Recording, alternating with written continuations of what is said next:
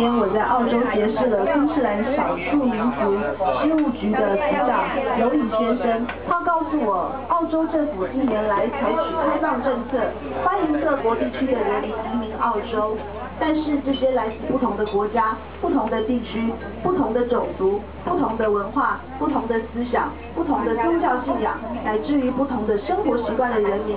现在大家居住在一起，如何能做到互相尊重、互相敬爱、互相和互助合作、共存共荣，创造澳洲美好的生活环境和安定繁荣的社会？尤里先生的想法非常合理，非常难得。佛法里所说的真实智慧不过如此。去年年初，我访问黄金海岸的邦德大学人文社会学科学院保罗院长接待我们。他说，这个学校有两千多名学生，却来自三十多个不同的国家地区，就像是一个小型的联合国。他们也在寻找用什么方法融合一切多元文化。使全校师生能够融洽的在一起生活，在一起学习，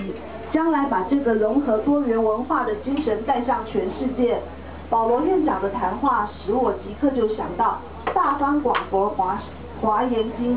此经开端，我们看到参与佛陀的说法的听众就有两百二十八个不同的族群、不同的社团。此事一会，若通若通说十方。则有无数无尽之族群，这正是我们现在所讲的多元文化的大汇集。佛经上所说的宇宙人生的真相，就是指这些无量无数的族群，不同的文化思想集合在一起，大家皆享有各种和和和圆融的真善美慧生活。世尊和诸佛。世尊和诸佛菩萨为了要达到这个目的，采取了教学的方法，就是要让一切众生认清宇宙人的根源真相。所以佛跟大家讲真话，真话是什么？净虚空，骗法界原本就是一个妙好完美的整体。这种想见解，在中国古圣先贤也曾说过。易经说：太极生两仪，两仪生四象，四象生八卦，八卦生万物。道家说得更清楚：天地与我同根，万物与我一体。直接说佛法相近。我们要达到多元文化的和合，多元文化的圆融，首先必须要有这个认知，问题解决就解决了。凡人没有这个认知，起心动念所所作所为，总是只顾到小小的身家，升起了自私自利的观念。自私自利心的发展，必定做出损人害己之事，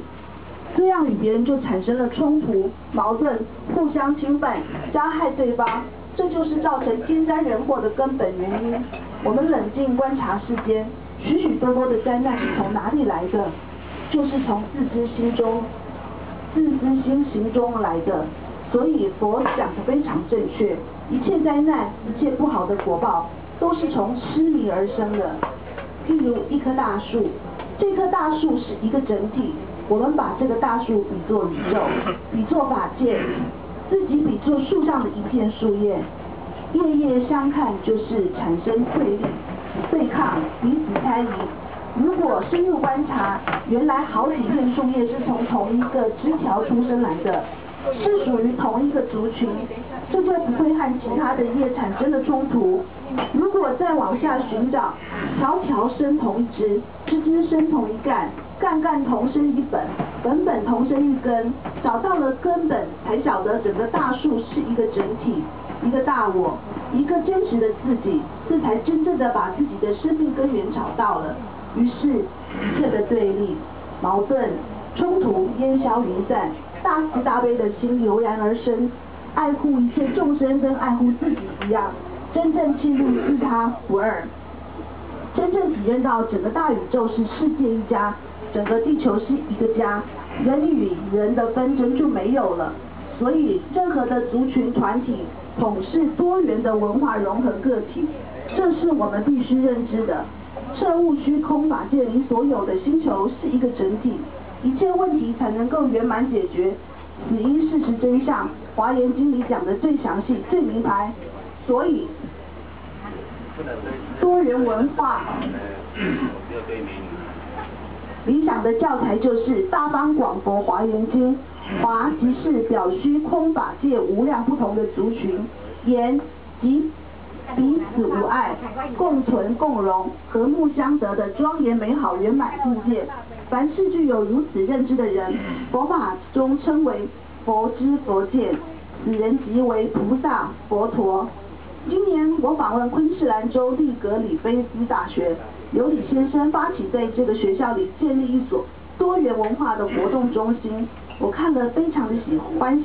全力赞助，并且向校长建议，希望学校能开办一所多元文化的研习所，专门培养从事促进社会安定繁荣、世界和平工作的专业人才。最理想的是国家有一所多元文化大学，或者每所大学里都有多元文化学院、多元文化学系，共同努力落实社会安定、世界和平、多元文化的理想。才不至于变成一个口号。这是澳洲政府、澳洲学术界的人值得我们尊敬、值得我们佩服佩服的地方。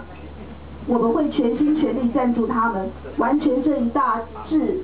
善理想的实现。佛法有理论、有方法，决定可以落实。我们应当要学习佛教的经典，是人类各种不同文化的共同宝藏。它没有分别，没有执着，它的看法。想法、做法完全是与大宇宙完美的整体相应，与整体的相应就是佛经常说的与自信相应，这才能真正把宇宙人生一切问题圆圆满满的解决。我今天有缘参加如此盛会，非常感谢主办单位的志士、